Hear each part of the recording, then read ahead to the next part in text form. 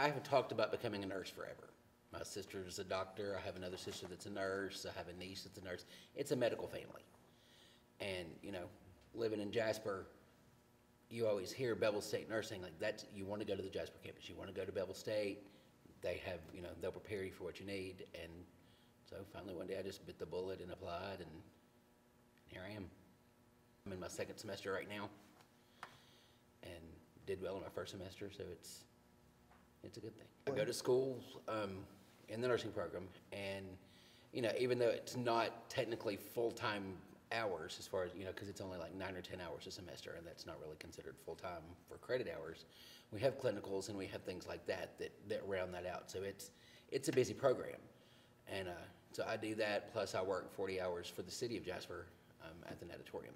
I'm lifeguard supervisor, head lifeguard, whatever you want to want to call it, and I I coordinate them. I get them doing what they're supposed to be doing when they're supposed to be doing it, making sure that you know not necessarily the heavy maintenance or anything like that of the place is, is taken care of, but you know we clean up after ourselves. We don't always rely on the janitors, and it's you know coordinating that with the the with the lifeguards to make sure that gets done as well as the pool's covered when there's kids in the in the pool. I really like Bevill because it's a small place, and you I mean you pretty much do get to know everybody. Like all of my teachers know me on a first name basis.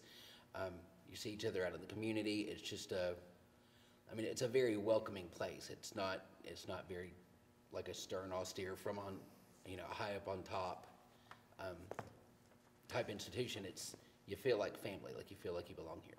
Everyone, you know, that I've come in contact with in clinicals and everyone, you know, that in I guess the nursing community would be, knows that a Bevill State nurse is a prepared nurse. It's, you know, you're not just going to be flapping in the breeze. So, I mean, it's definitely going to help me when I get my career and be able to, to be prepared for how it really is going to be to be a nurse. Um, and, you know, as far as like day to day things, I like being here, once again, around the people that I'm, that I live around. See each other, go out to eat, you know, do things like that just to make it to where it's not such a mundane. I mean, we may all go out to eat, but we're studying what we eat. Right. You know, it's just kind of, you have to multitask if you want to do things and not be in a rut. So it's 40 hours at the Nat. I, uh, I go to class Monday, Tuesday, Wednesday. And then after class on Wednesday, I go and work the evening shift at the natatorium. And then I'm all day Thursday, Friday, and Saturday. So I can get my 40 hours and have insurance and still be able to take care of life. My name is Darian Thompson, and I'm a Bevill State student, and that's my story.